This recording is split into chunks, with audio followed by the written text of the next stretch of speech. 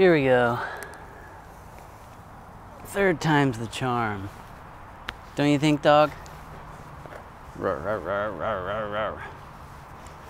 Let me give you a little background of why this took three times.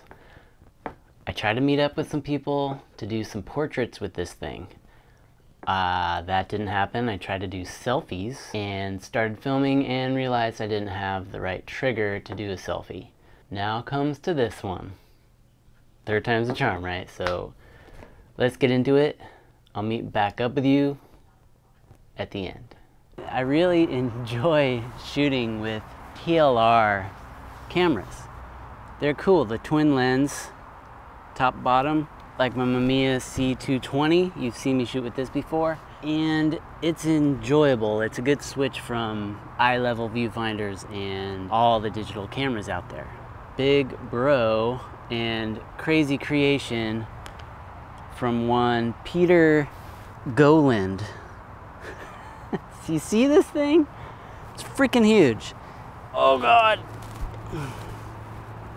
You can essentially load this thing, compose, and shoot on the move. It's insane. Thank you to my friend Garric, who had this thing and got it years ago. Uh, there's not a lot of these out there. Well, my, Holy my smokes, that thing's yeah. huge.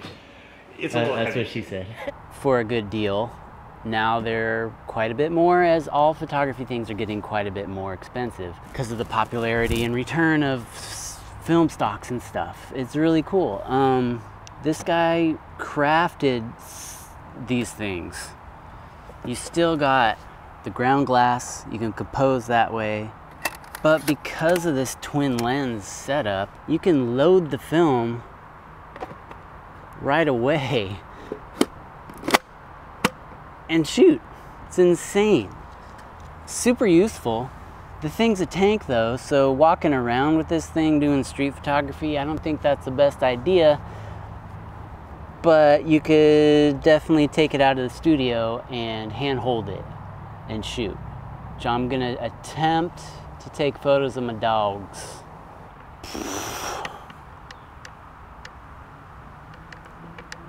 A little overwhelmed with this. Go ahead and check oh it out. God. Dude, but I mean, think about it. It's a game changer for 4x5. Yeah, that's so. hilarious. It's like, yeah. It's Dude, these are not exactly cheap either. There's not, a, there's not, I paid 700 bucks for this, but I think yeah. now this is like over two grand. Really?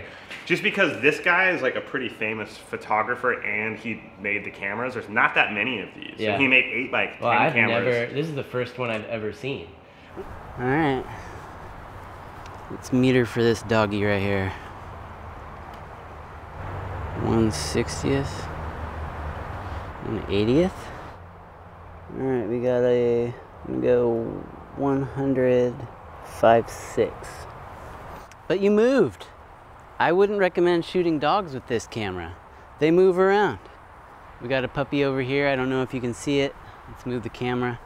It looks like he's bummed because the bike, his bike is broken. Let's see if we can get a shot, doggy. Gonna cock it. Holy smokes. Okay, you gotta tell me, do I look insane? oh, you gotta put this thing so far out. Okay, one thing, it is hard to focus.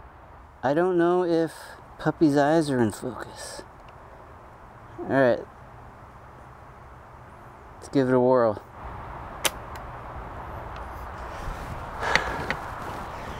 That's the first one. Oh, your wrist just dies.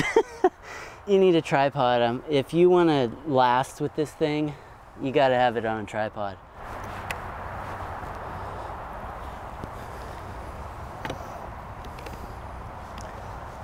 Oh, dog. It's bound to stop moving at some point.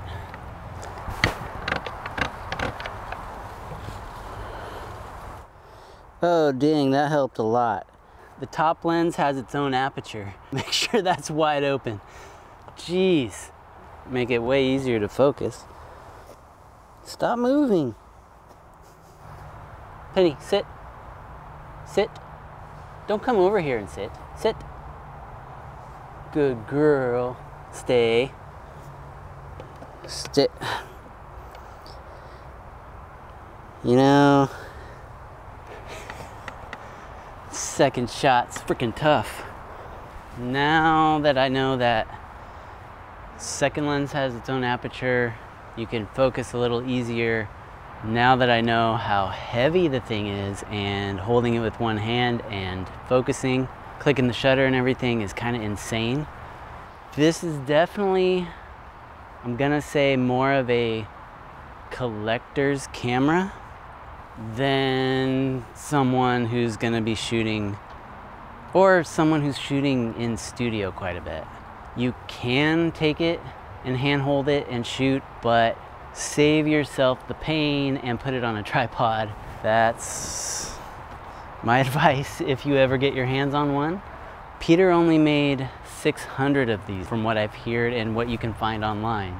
He might only have a couple left in his possession. So Hey Garric, you're pretty stoked to have this. It's insane, but geez, man, that's intense to hold.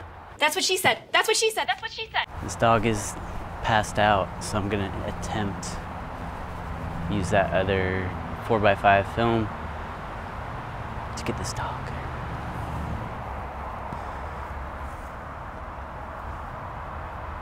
Stay there, you idiot. God, it's it's got to be the lens, the cameraman. Freaking her out.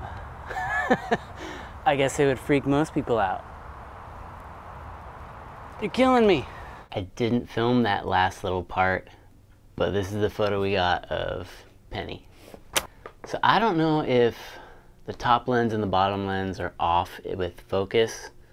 Seems like they shouldn't be, but I swear I was better at focusing. Might be me, might be the camera, I don't know. But thanks again, Garric, for letting me borrow that thing. The thing's a beast. So kind of a once in a lifetime opportunity to use that. It was fun.